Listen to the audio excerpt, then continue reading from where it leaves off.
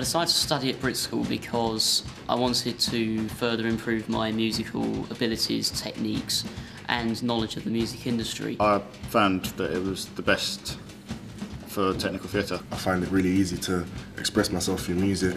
Everybody gets on with each other and everyone respects each other. You know, you can wear whatever you want, you can be who you want to be, and also from that, get the training that you need to get and the confidence to go and, you know, go into the performing world or go and study more.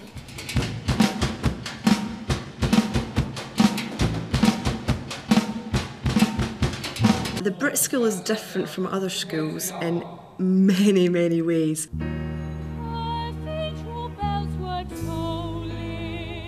The main thing is we focus on you know performing arts, vocational training, and technical theatre arts and media and things um, about going into work in the business in that respect. And of course, it's the only free performing arts school in the country. We're performing today to about 3,000 primary school children. I was so nervous. I knew I didn't go on stage. One of my songs are in the show, and um, definitely very nervous about it. But as soon as I got on stage and I saw the children and they had an amazing reaction to it, you kind of just relax into your role and just do what you're meant to do. And the fact that there's so many people doing it with me sort of like encourages me. Our strand is very, very busy. We do every show at the college and everything. So we don't really have time to be nervous. Just get on with it and do, do what we can to the best of our ability. I really admire Kate Nash because she came from theatre into music. We're, we're not all just music, we all have different talent, and she shows that from the school. She's not the norm. I'd probably say Leona Lewis because I think it takes a lot of guts to go in for something like um, X Factor. It takes tremendous courage to really, you know, even just perform in front of the judges. Amy Winehouse away. It's because of the amount of sticks she's been through and all the publicity and everything. I think she's pulled, managed to pull through it and, like, take for Glastonbury, she still manages to go out and put on a good performance and do well.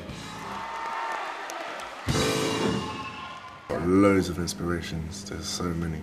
George Benson, Delta Goodrem, Neil Sedaka, Miles Davis. Kylie Minogue, really like her stuff.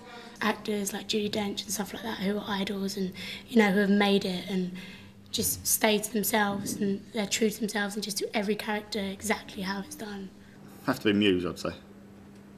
It's not my sort of music too much, but it's the fact that they're well known for their famous lighting designs and all the lasers and the everything. So I'd love to do it for someone like Muse, uh, Wembley or Glastonbury. People like that, really. And my mum. my former students uh, do an absolute range of things.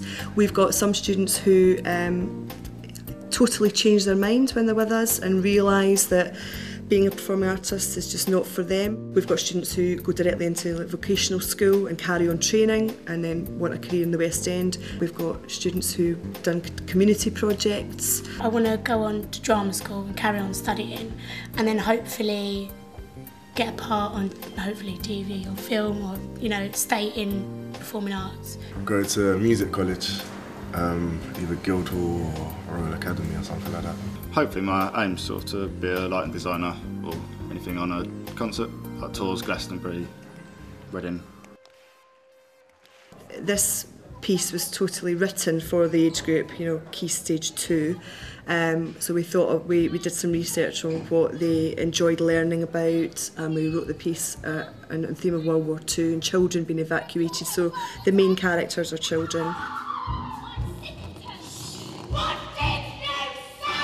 Obviously they get to see the, the skills that our students are developing. I think it was really a collaboration between all the strands at Brit School. I think it was great that they were all able to communicate with each other and interact in such a way that they put a, sh- a great show together and Everyone went, was so good and everyone had so much energy. the school kids absolutely loved it. To see them booing when the bad guys came on and really kind of screaming out for the people when the good guys are coming on, that's what you want. It's about giving something back to the local community.